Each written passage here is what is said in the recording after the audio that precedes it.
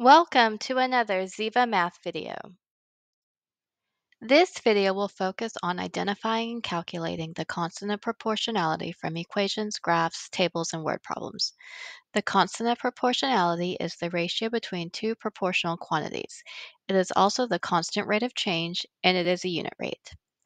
When there is a proportional relationship between x and y, the relationship can be described using the equation y equals kx. The constant of proportionality is represented by the variable k and can be found using the formula k equals y over x or y divided by x. It is also important to note that your linear graphs that go through the origin represent proportional relationships and will have a constant of proportionality. Let's take a look at our examples. In this example, we're going to find the constant of proportionality for the following scenario, a scenario that's given to you in a table. So for instance, if you're flying on an airlines, this is the cost for the number of bags that you are checking. One bag costs 25, two costs 50, and so on. And we need to find the constant of proportionality. Well, we had a formula for that. That formula was K equals Y over X. So in our table, we're going to need to determine which is our y values and which are our x values. Well, your x values are your independent variables. So the number of bags is going to be your x value because the cost is determined by the number of bags. So that's your dependent variable and that will be y. So to solve for the constant of proportionality, you're just going to need to choose one of these data points. And highly recommend that you choose the data point where x equals 1 because it'll make your calculations easier. So then we'll take our y value of 25 and we'll put it in place of y. Then we'll take our x value of 1 and put it in place of 1. And then we simply divide 25 by 1, which is 25. So our constant of proportionality is 25.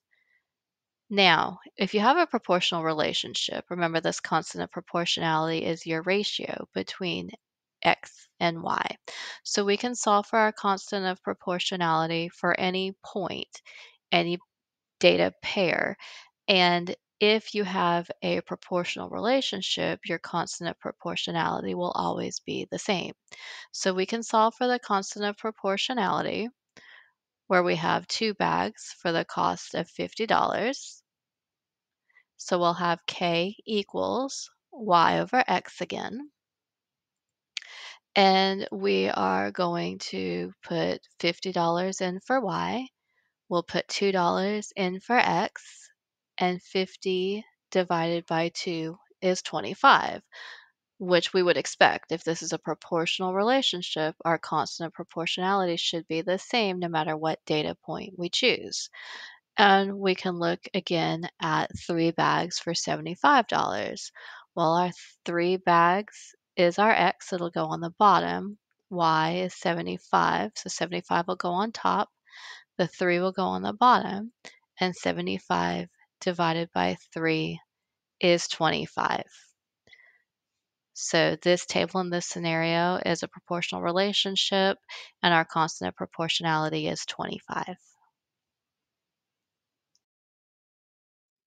In this example, we'll find the constant proportionality for the following scenario given to us in a table where we have the number of burritos being eaten and the calories consumed with that number of burritos. So three burritos is 240 calories, four burritos is 320 calories, and so on. So to find the constant proportionality, we need to use that formula k equals y over x and in order to calculate our constant proportionality, we've got to determine which are the x values and the y values in the table. Our x value is our independent variable, so our number of burritos, because our y value calories depends on how many burritos are being eaten. So calories is y.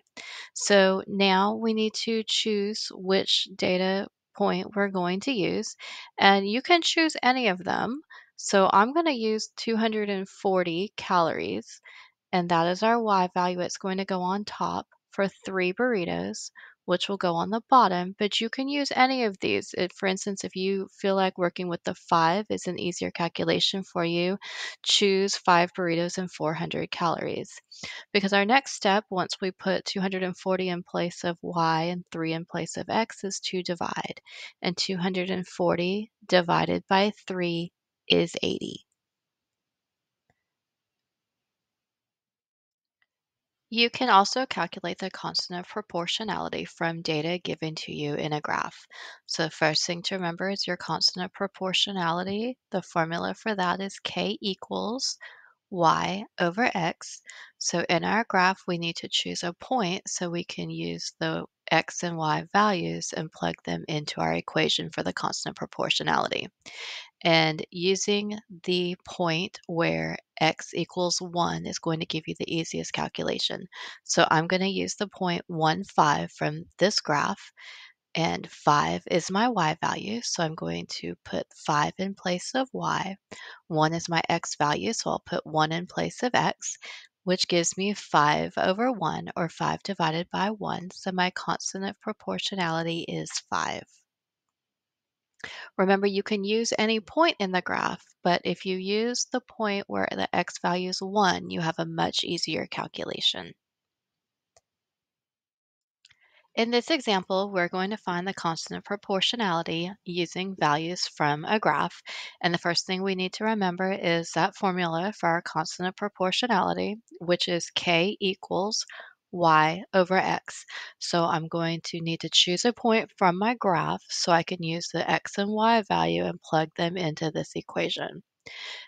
We have suggested before that you want to use the point where x equals 1 for an easier calculation. But sometimes on a graph, you need to choose a point on a grid line, a place where the grid lines cross, so you know exactly what values you have. So rather than choosing the point where x equals 1, I'm going to choose the point where x is 2 because it's on the grid line. So we're going to use the point 2, 16, which means I have 16 for my y value. I have 2 for my x value. So then I'll need to divide 16 by 2 to solve for k.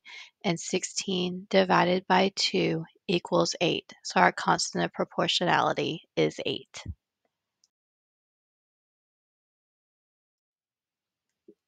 A recipe uses two cups of sugar to make four batches of cookies. What is the constant of proportionality that represents the number of batches of cookies y to the number of cups of sugar x? Well, we're being asked to find our constant of proportionality, and we have a formula for that. That formula is k equals y over x. And so once we have our formula, we know we're going to need a y value and an x value. And this problem is really helpful. It tells us that our y values are going to be our batches of cookies. And it also tells us that our x values will be the number of cups of sugar. So if I need to fill in my y value, I need to look for the batches of cookies being made. Well, that's four batches. So y is going to be 4. And then our x value was the number of cups of sugar being used. And so back to our problem, we see we're using two cups of sugar. So I'm going to substitute 2 in for x to complete my calculation. So now I have 4 over 2, and 4 divided by 2 is 2.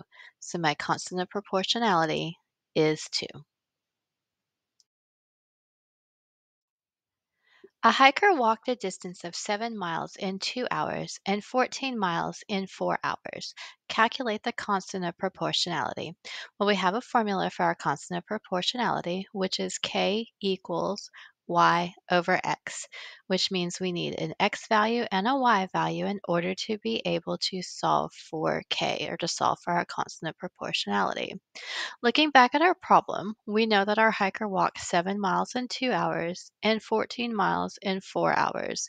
So our time is going to be our x because our time is our independent variable. And our miles walk depends on the hours. So our miles walked will be y.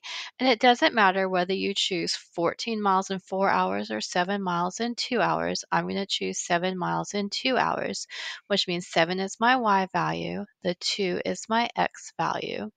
And so my constant of proportionality is 7 halves or 7 over 2. If you need to turn it into a decimal, then you would divide 7 by 2, but it's perfectly all right for your constant of proportionality to be a fraction.